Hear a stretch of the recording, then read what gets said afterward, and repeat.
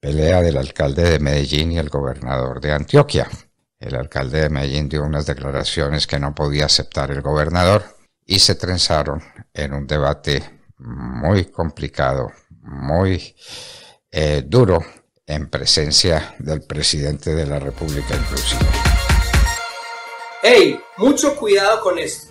Estamos muy cerca de vivir una crisis sanitaria y ambiental en Medellín y todo el Valle de Aburrá. Resulta que el relleno sanitario La Pradera recibe más de 3.000 toneladas de residuos sólidos al día y el actual vaso en operación, llamado el vaso Altair, tiene apenas una vida útil hasta septiembre del año 2023. El problema es que en abril de este año, en la alcaldía, anunciaron muy contentos la construcción del vaso La Piñuela que ampliaría la vida útil del relleno hasta el año 2029. Pero pues, estamos a menos de un año de que el vaso actual deje de funcionar y la construcción del nuevo ni siquiera ha comenzado. ¿Cuándo iniciará la construcción?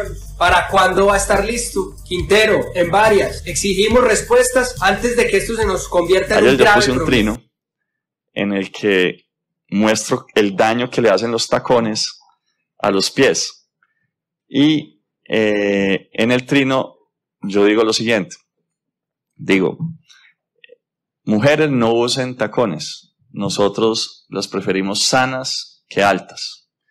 Yo lo hice en, un acto de cariño por, por las mujeres, pero además por la salud de las mujeres, un tema de salud, digamos, osteomuscular y de salud municipal o distrital, pero utilicé la palabra preferimos.